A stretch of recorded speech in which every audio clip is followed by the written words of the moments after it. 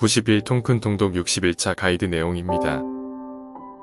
오늘 읽을 본문은 스가랴 1장에서 8장, 에스라 5장 2절에서 6장, 다니엘 6장입니다.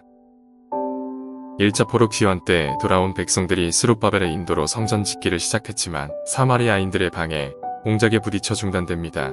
하나님께서 허락하신 일이라도 모든 것이 만사형통되는 것만은 아닙니다. 스가랴는 학계와 동시대에 활약한 선지자입니다. 그의 메시지의 핵심은 성전 재건을 독려하는 것과 관련해서 하나님께로 돌아가자는 것입니다. 스가랴는 금식이 하나님 앞에 가장 중요한 것이 아니라고 말합니다. 하나님이 진정으로 원하시는 것은 선지자의 말을 순종하는 것입니다.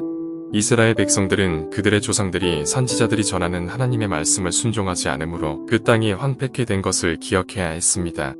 중단된 성전 재건이 학계와 스가랴 선지자의 동료로 다시 시작되고 성전 재건이 완성됩니다. 사마리아인들이 바사의 세왕 다리오를 설득하여 성전 재건을 중단하려 했던 음모는 그 반대의 결과로 나타납니다. 오히려 그의 지원을 받게 됩니다. 4년 만에 성전 재건을 완성하고 처음으로 6월절을 지킵니다. 하나님께서 계획하신 것은 인간의 반대가 있어도 결국 하나님의 주권 속에서 완성됨을 보여줍니다. 바사에서는 다니엘이 하루 세 번씩 기도한 것이 왕의 긍령을 어긴 것이라고 사자굴 속에 던져집니다.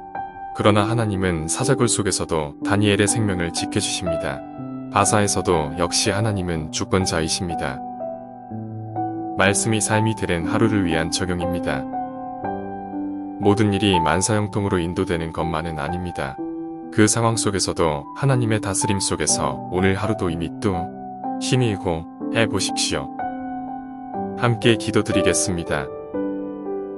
하나님의 말씀을 청종하며 그 말씀에 순종하여 생활 속에서 실천하는 삶을 살게 하여 주시옵소서. 항상 하나님 중심의 삶을 살게 하옵소서. 가정 예배를 통해 날마다 하나님께 돌아오게 하옵소서. 예수님의 이름으로 기도합니다. 아멘. 여기까지 91통 큰 통독 61차 내용이었습니다.